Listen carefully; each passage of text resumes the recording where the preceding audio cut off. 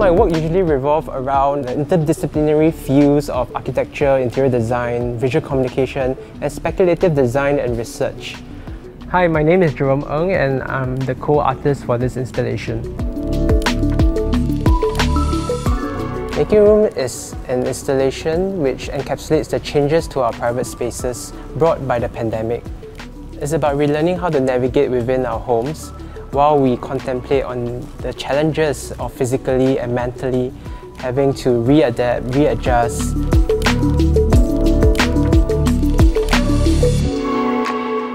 The hanging translucent modules evokes a sense of suspended space and time, especially with the emphasis on physical isolation and the encroachment of public life into the private sphere. We are constantly finding ourselves having to search and find new ways to cope with our living arrangement.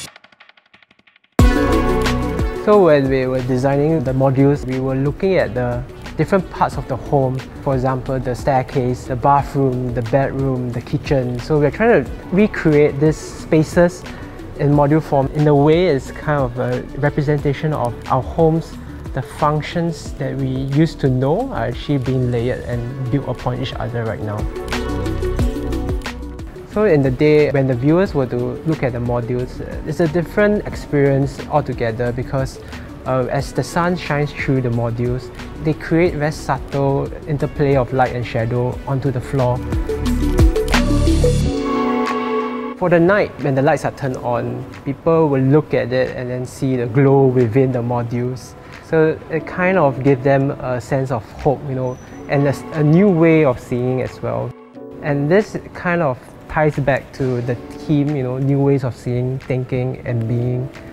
So we want people to feel and evoke different sense and feelings and emotions when they look at the installation, be it in the day or in the night.